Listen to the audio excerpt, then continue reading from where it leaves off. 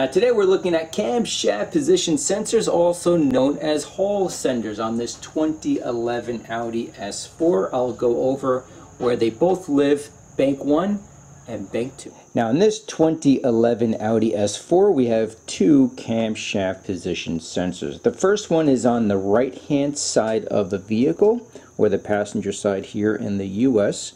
Right here is the position of the camshaft and this is where the sensor is located. So again, this is bank 1, right hand side of the vehicle, known also as G40 if you have a trouble code. The other one is G163, that is bank 2, which is on the left hand side of the vehicle, driver side here in the US, and right here is the sensor. So let's remove this plastic cover. So this is just held in by rubber grommets, just be gentle. Okay, so let's start with the Bank 1 sensor. And if you're not familiar with these uh, Volkswagen and Audi harness connectors, you first have to pull up on this little gray tab. There you go. Once you pull it up, press back.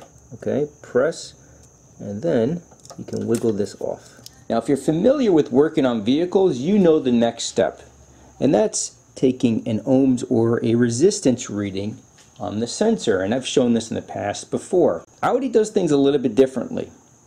All that you need to do is verify that the harness connector is getting power. If this is getting power and you have a trouble code for bank 1, then you need to replace the sensor. That's it. You just want to verify this is getting power. If you have a trouble code for bank 2, verify this is getting power, which we will do together. If it is getting power, replace the sensor. It's that simple. So let me show you how you can test this. Now this is a digital multimeter. If you plan on doing your own auto repair, this is a must-have. Inexpensive, $25 as always. I'll have a link in the description box below. And all that you're doing is plugging in the leads that come with the meter. And then choose the volts. Make sure you're on the DC setting. Now the other thing I'll be using is a test probe kit. Not necessary, just makes the job so much easier because you don't have to use paper clips to jam into the harness connector. This will not hurt anything. So looking at the harness connector, you want to take your test probes. Again, you can use paper clips, just be really gentle. Insert it in the left lead, the other probe in the right lead. That's it. Now I'm not starting the vehicle, I'm just turning on the ignition. So simply press in the key and now everything is on. So what we want to see here are 5 volts. So just taking the leads running from the harness connector, touching the test probes, and watch the meter. And as you can see, hold on, we have, let me clamp it on. We have 5 volts. This verifies this harness connector is getting power. Now if you do this test and you are getting power at the harness connector, then you'll need to replace the sensor. I'll show you how you can do that right now. If you are not getting any power here, just check the wiring at this location, but if everything looks okay, then you'll need to track down a blown fuse, it could be a blown relay, it could be a short somewhere, and you'll need something like a power probe tool to track that down. But chances are, if you do this test, you'll have power here. So let's go ahead and remove the sensor. Now there's only one fastener holding on the sensor. It is a T30 bit, but there's not a lot of room here.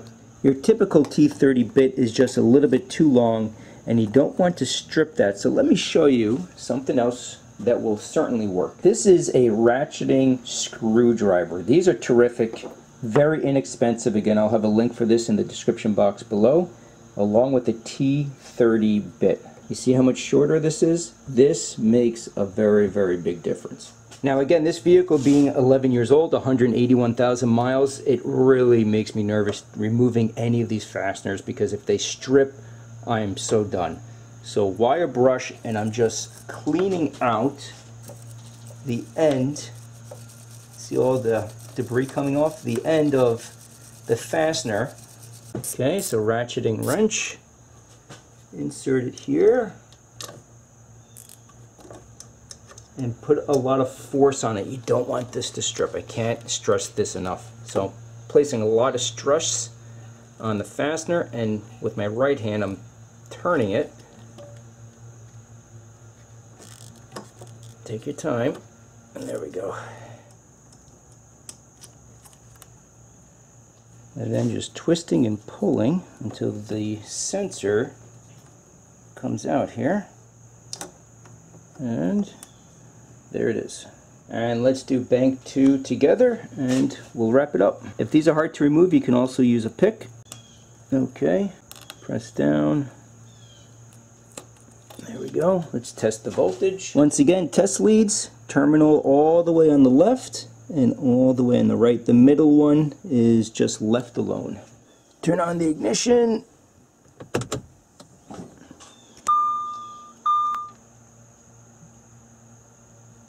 Once again, 5 volts in good shape. So right here we have a line, this is for the vacuum brake booster that we replaced around a month ago. Just gently pull on this and just clean out the fastener here. Now we can use our traditional T30 bit. Once again, place a lot of force on it because you don't want this to strip. There we go. Rock this back and forth. There's just an O-ring holding everything in place. And there's your sensor. So a couple of things before we wrap this up. Number one, if you are replacing the sensor, don't forget to install a brand new O-ring because I'm reusing the sensors. I'm replacing the old brittle O-rings with HNBR O-rings. They are a lot better.